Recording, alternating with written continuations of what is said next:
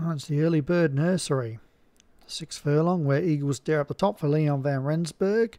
Even money favourite, probably the right call. Ecological, Bibba Chi, Single Girl, My Mum Gert, Lazy Eye, Jazz Acosta, Voltava, Divine Cornet, uh, Witty Rest, Ghost Train, Stony Lad, Sue's Motor, and Waltzing Samba for Thomas A.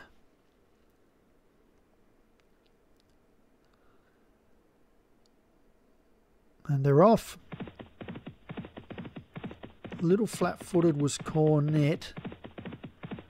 For speed early, um, My Mum Gert and Stony Lad, um, Voltava Divine, Single Girl. So those four have opened up a break here from Sue's Motor and where Eagles Dare, Jazzacosta, Bibba Chi, Lazy Eye, uh, Witty Rest, Ecological Ghost Train, Cornet, and Waltzing Samba.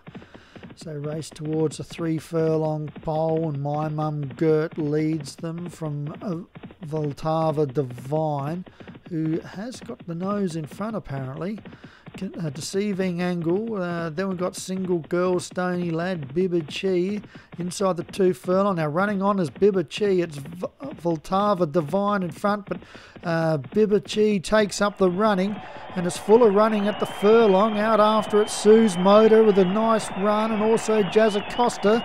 It's uh, Sue's Motor taking up the running and has hit the lead and has gone to win. No, diving late. It has got there, Sue's Motor. Diving late, ecological didn't quite get third. Looks like it was Martin's horse, Cornet, but Sue's motor. What a big win.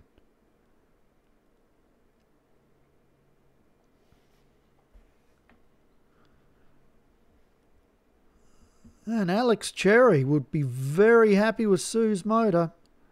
Second ecological for Pontypool Racing. For a moment I thought I was going to get there. Uh, Cornet was third for Martin Leadham, flew late. Bibachi looked good for a while there for T. Rogers, and Jazz Acosta has finished fifth. And a nice run there for Mike Westwood.